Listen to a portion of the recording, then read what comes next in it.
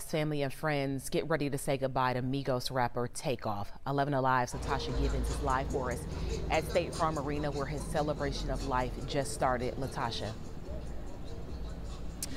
That's right. That service is now underway, but doors opened at 11, and there was a line even before doors open. If you look over my shoulder, you can see part of that line. You can also hear some of Migos music playing and the cars riding by, and even you see the picture of Takeoff featured on the State Farm Arena. We're told celebrities will enter from a completely different side, but here's a little background, bringing viewers up to date on what led up to his funeral.